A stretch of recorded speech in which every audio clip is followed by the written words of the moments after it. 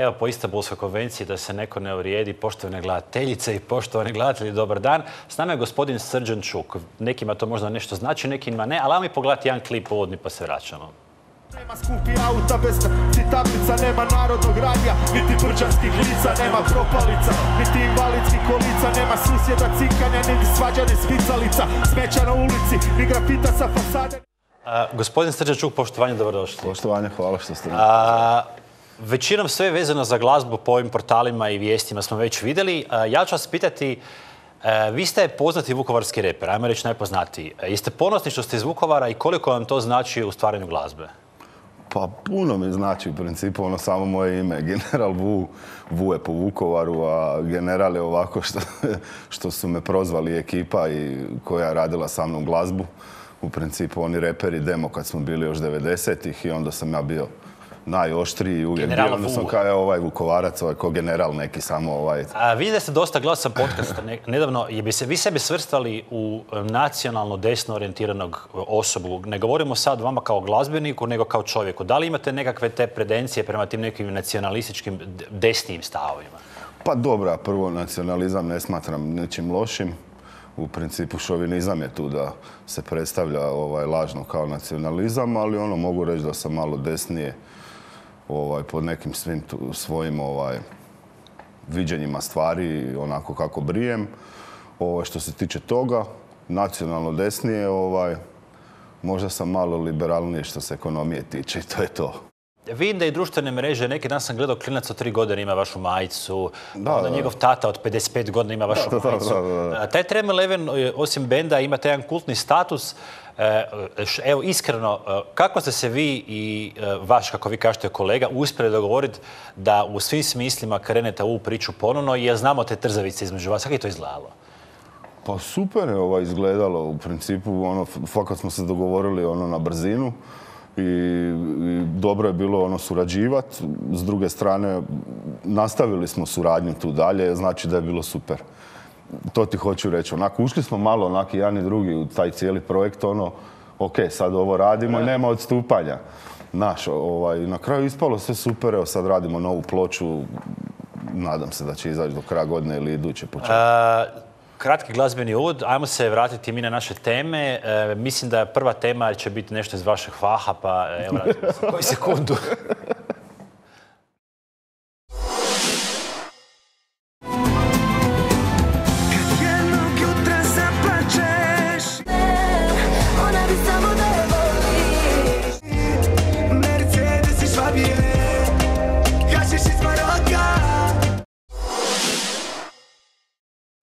Ja ne znam uopće ko su ovi, ali ja ću vam pročitati. Rasta X, Alen Sakić. Sad ne znam je li Rasta puta Alen ili Alen Sakić, onda Anastasija ili Anastazija, ne znam je li to kako se to čita, i Saša Kovačević. E, prevarena Maroko i Rane. To su vam tri najslušanije pjesme od Hrvata vezano za YouTube. Kako to komentirate? Pa mislim, ono, YouTube YouTube, ovaj... Očito YouTube danas to. gledaju klinci, gledaju sve. Da. Is- Ispada da su da Anastazija je e, jedna ugledna dama, ona je, ne mogu to zapamtiti jer se nisam tako ne želim takve informacije u glazbi. Ja iskreno nemam pojma uopće. Evo ovako, Anastazija je ugledna, jedino. piše ovako, ugledna kći pjevačice Svetlane Ražnatović Cece i Željka Ražnatović Arkana. To piše srpski blic i piše naslov da je Anastazija najveća zvijezda u Hrvatskoj. Kad se klikne na trending Da, da, i kad se znači. Croatia Hrvatska, ispada da mi slušamo najviše e, kći ratnog zločinca. Pa meni sad to nije jasno, ja to ne mogu, ja nisam u tim vodama glazbenim, vi ste tu e, stručni za to. Dajte mi to Pa Nemam malo po- ja ne objasniti, znam, ja, to ne mogu shvatiti. Ja to ne slušam, nem- nemam pojma ovaj, kako u principu to sve funkcionira. Znam da mladi klikaju i sve po defaultu šta je kao popularno. Ali, Ali taj ovaj- YouTube slušaju i malo stariji. e, Pa slušaju, da, ja mislim da to više stariji klikaju nego klinci. Ali dobro, ajde. Mislim, YouTube ne se- znam, ono, mislim, to mi je porazna ono, činjenica, ono, znaš, ono, okej, g- znam da se u glazbi o ukusima ne raspravlja. Svako mislim da se- mogli bi se raspravljati. Ali, mislim, ali... Ajmo raspravljati. Da, da, da. Ajmo ali u principu, ono, ja ne, mislim, jel meni to nije naš taj kulturni kulturni svijet ovaj, što se tiče Ja, znate šta vas Hrvatske, ali mi To- nije mi jasno Da, e, te gospođe ugledne Ražnatović nema niti na hrvatskim radijima, niti na televiziji. Ispada da ono što je najslušanije u realnosti, što se sluša e, doma, prije spavanja, u klubovima, Ispada na to s YouTube-a. Točno. A YouTube ne laže, znači on ima onaj klik per view, tu nema Da, da, da, fejkanja. da, E, Pa mislim, to je porazno, žalosno. šta da, se u događa? Ja ne razumijem. Pa nemam pojma, ono, iskreno da ti budem. ono. Mislim, koji je to, kako to sad? Ne znam, ne znam. Evo, to je taj neki novi val tih cajki koji se pojavio, jer ovo je sve onako... To ste trep cajke, to ste tak A ne... da, tre prije su bile house cajke i tako, to ti sve ide House tako. cajke, to Pa su- da, to oni samo uzmu šta je moderno, ne znam, kad je bio house moderan, prije toga R&B, oni samo uzmu tu produkciju, neku malo iskopiraju i gore stave cajku i to ti je to. Eto, tako ti rade i ovaj trep, jer o- to nije pravi trep, to je u principu ono ta A neka, što to srpske pjesme i spotovi imaju, a što mi nemamo, da je to toliko popularno? Ja, ja to ne mogu, evo. Pa ne znam, očito, to sam već negdje pričao, očito se ovaj, lože na adrenalin, fali nekom adrenalina, pa onda umjesto da slušaju, ne znam, ono, neki ono heavy metal ili nešto Dobro, što- koji, je nabrijano. to, koji je to adrenalin u Ne, ja pjesmi nemam pojma, rane? valjda se oni prepoznaju u tim forama, šampanjci, klubovi, mislim, ono, mi kad smo izlazili, šampanjci i klubovi su bili 90. ono, hip hop, R&B, house glazba i ne znam, to se dosta promijenilo, ovaj, ja ne znam, valjda ih to loži, ne znam, ja nemam, ja stvarno ne, ja ne Ma, mogu, mislim, ja pokušavam glazbeno shvatiti ne, to- ne, ne ja pokušavam to shvatiti fenomenološki, jer evo, ne, piše ovako, nakon prvog mjesta ugledno Anastaziju Ražnatović Arkan, to koji je pisao mi je super, maknuo je jedan drugi srpski glazbenik Saša Kovačević, a zamijenio ga je bosansko-hercegovački reper Jala Brat. To se odnosi i na Hrvatsku. Pa ja, ja ne kužim, em, je li to visoka produkcija, su to neke pametne riječi ili je to jednostavno u genima da mi volimo slušati to, to jest većina, Pa ja a niko mislim se da to ne usudi nije to u priznati. genima, da je to ovaj, više pomodno onako. Znaš, da je to više ono što se tiče mode, ono pop neke kulture koja ovaj, zahvatila i to. Koliko god pop kultura bježala od toga i to spada isto u pop kulturu neku kad pogledaš. Po popularnosti po čemu klikaju ljudi. Jer bi ovo značilo da mlade generacije su, ajmo nekako reći, Poseljačile se, mislim. ne, one- oba dobro, to, to, to potom, ali nisu, nisu vezane za domovinski rat. Jer sumnjam da bi, e, pre- pretpostavljam da ljudi malo stari znaju ko je Ražnatović Arkan. Pa to da, da. Mislim, trebali bi znati. ovi klinci od 15, 17 ili 12 godina, oni možda ne znaju tu priču i nisu s tim. Uh, jel ima tu negdje nešto u tom? Pa ima u tome nešto. Ja mislim da im roditelji, nitko im, znaš, od škole roditelja, nitko im nije objasnio neke stvari, nisu ih naučili neke stvari. Ovaj, tako da ti se događaju takve fore, ono, da ti ljudi idu turistički u Beograd, viču Srbija tamo i...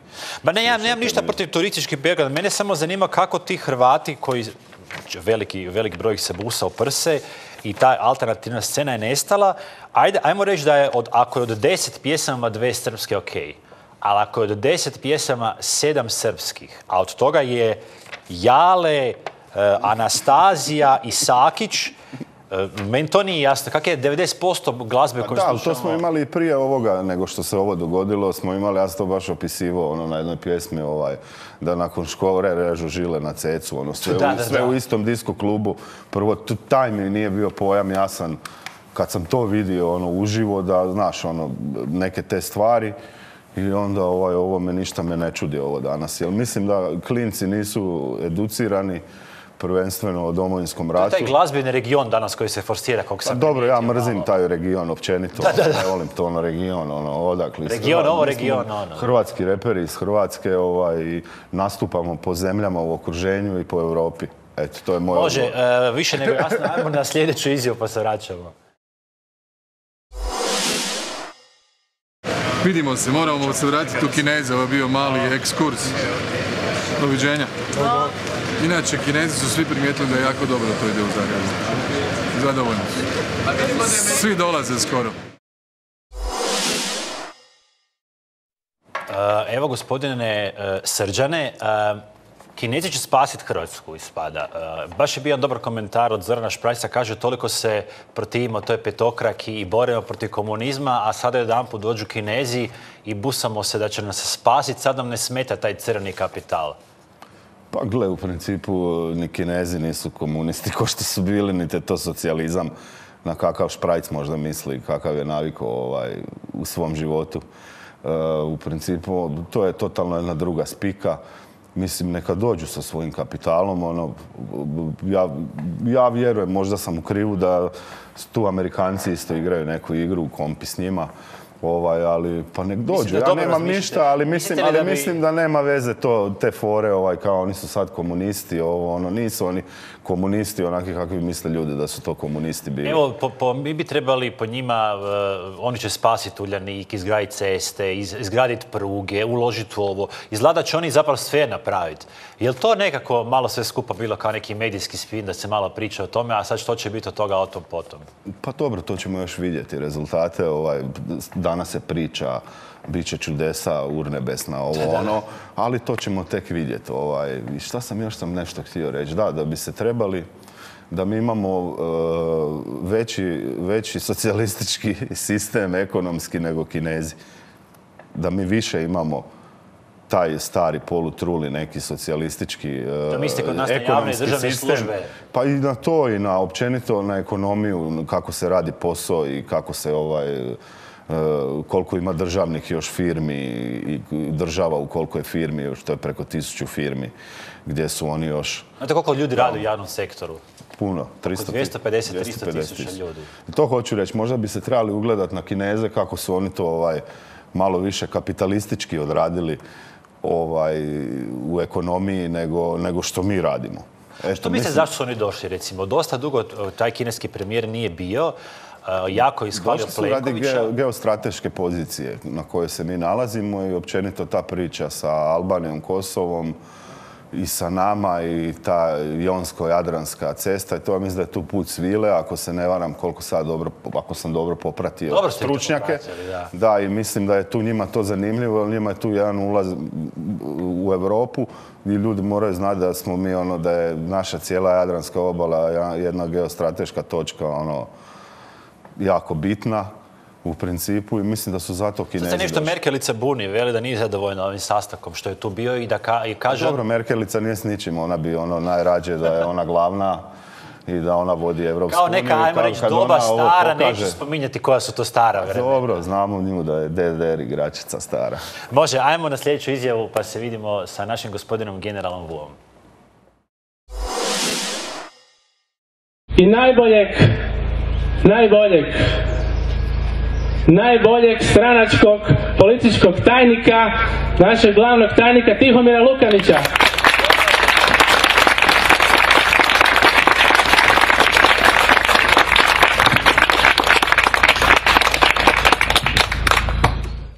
Emotivan sam. Neki dan me sin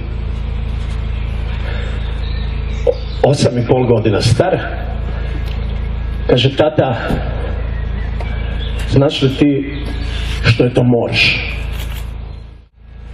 Mi smo stranka budućnosti.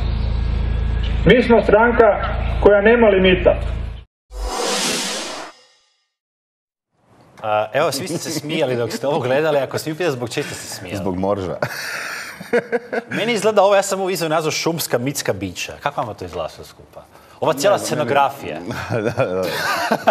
Mislim, o- ovo je teško ne smije se. Ja, ne- Pa mislim, smiješni su, da.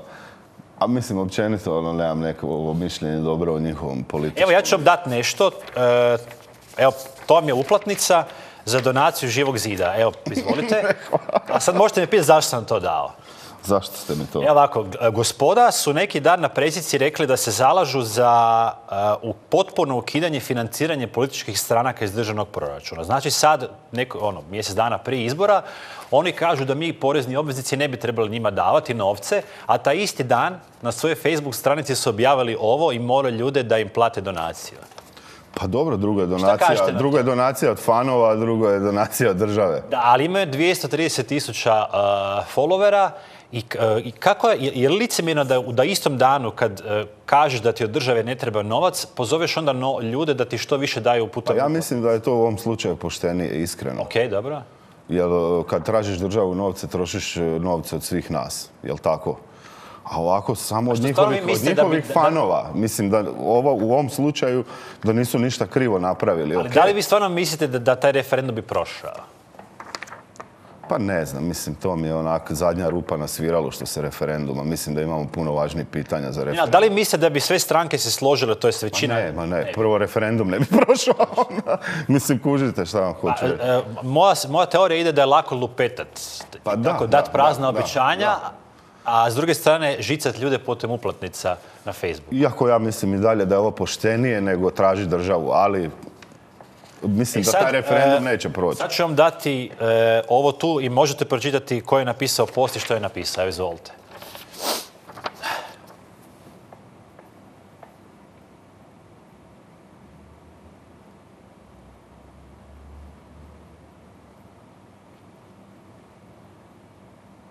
Svako hoćete, budem ja. Mislim, ne znam je li ovo istina. Ovo je, Evo, ja, je ovo istina. Ovo je ko sa inter... Je, istina. Je, je. Znači ovako, gospodin Branimir Bunjac je nedavno objavio post di kaže za bivšeg predsjednika Irana, Mahmud Ahmedinejada, da e, vidite ljudi, ovo je čovjek e, kojeg Zapad je optužio za jako zlo. On sada čuva ovce, e, doručkovao je sendvič. I ima 350 komentara da su Amerikanci zli i da je to sve nekakva urota protiv ovoga za nafte.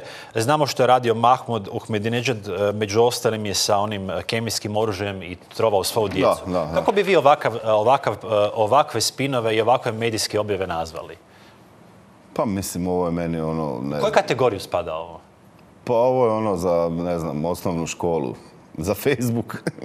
Da li imate 350 e, ljudi koji podržava ovu objavu i koji kažu da je zapravo Bunjac u pravu, da Amerika nije trebala e, boriti se protiv uglednog gospodina Ahmadinejada, da je zapravo sve to fake news što su Amerika. Jer kužite vi koja je poanta ovakvih stvari?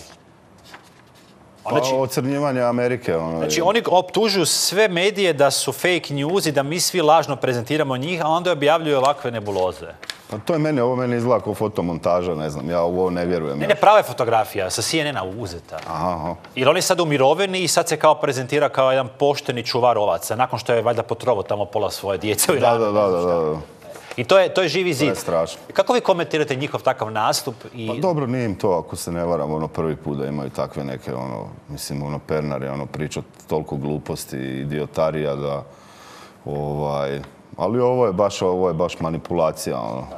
Znači imate jedan post gdje traže novce od ljudi, onda imate post o Mahmud Ahmedinejadu i onda imate sljedeći post, sad pazite ovo, neki dan je nekome, valjda je pala stranica od Pernara, ne znam, na jedan, dva, odmah su optužili tajne službe da su to hakirale, uopće se nije radilo o tome, nego je 10 ili 15 ljudi e, pisalo tamo nešto na Facebook i Pernar odmah vraća nakon nekoliko sati Facebook.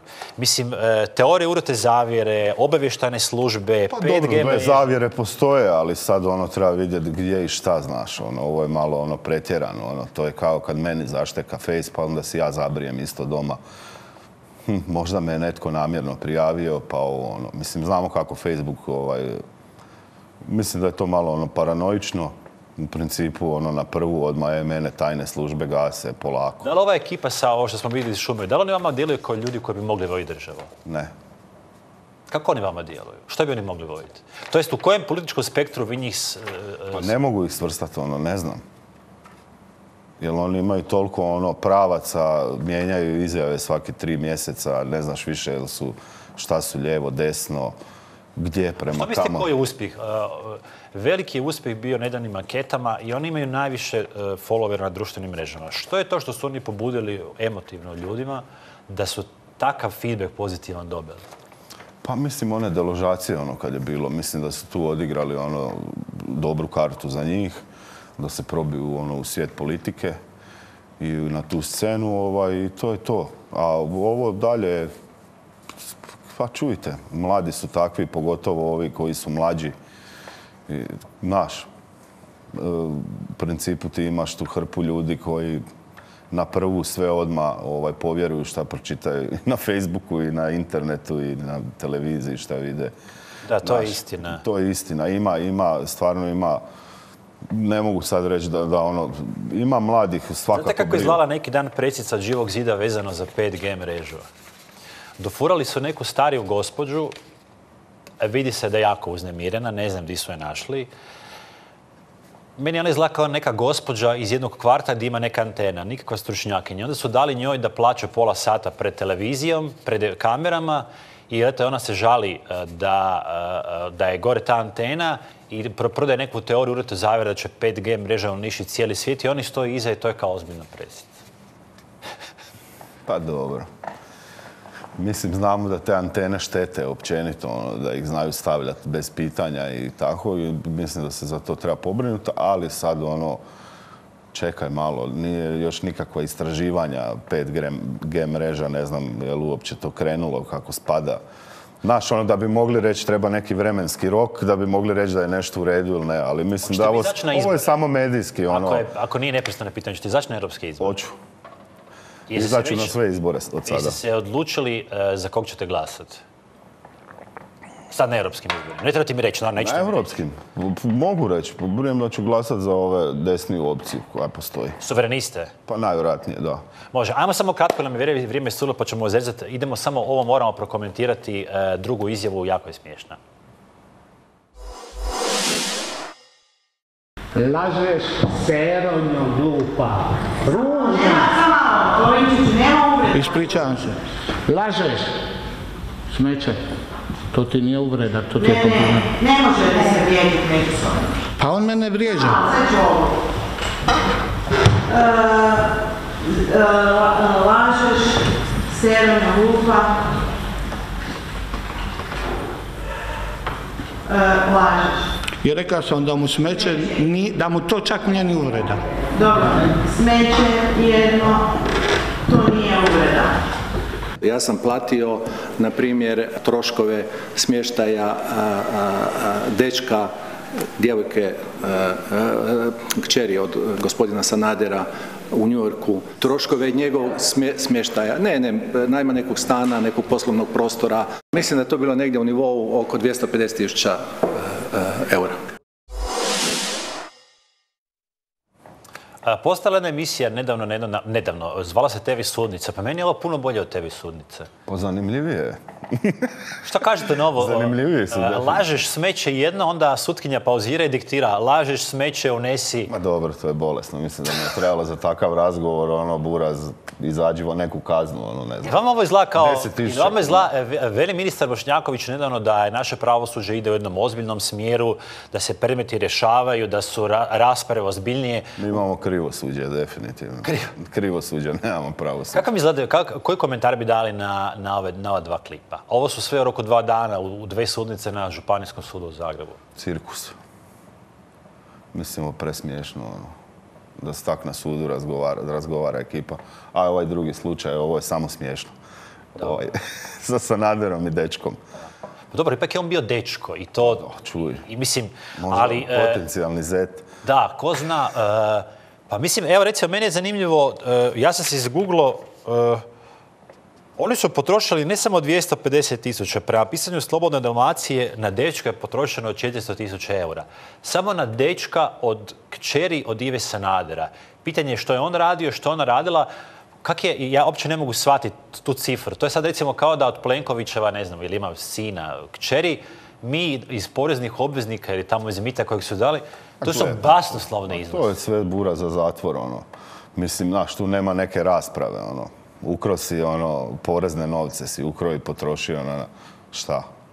Ali dokud ide ta perverzija trošenja na dečka od kćeri od Ive Sanadera Nema to- to na nema stan u granica. New Yorku s bazenom. To nema granica i to je zato što smo ono pričali kad je bila tema Kinezi malo prije o cijelom našem sustavu ekonomskom i o svemu, znači tu ti je i pravosuđe u banani i sve je to povezano i onda imaju priliku da mogu to raditi, razumiješ? Da on može na neke polulegalne načine izvlačiti novce. I sad on ima vrhunske odvjetnike, najbolje koje postoje, gospođu Sloković i Prodanović. I šta ako oni uspiju, recimo, nekako ishendlati da se njemu smanji kazna i da on to nekako još malo bude u zatvoru i doviđenja, idemo dalje. Pa ne bi se čudio da se to dogodi, ono. Mislim, kod nas kako je pravosuđe, ne bi se Šta čudio. kažete na odvjetnike te naše koji su svaki dan po tim televizijama? A ne znam.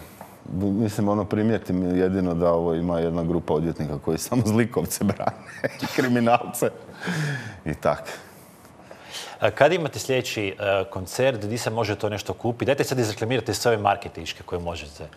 Pa u principu veliki u Zagrebu imat ćemo preko ljeta ovaj koncerte, E, neću najavljivati sad točno datume i ovo, ali ću najaviti nama bitan je koncert na krovu MSU-a. O, u ljeto MSU. Da, ljeto MSU, 13.7. Ovaj, gdje dolazimo sa bendom, svojim s funksterima, gostima, uglavnom, e, to je to.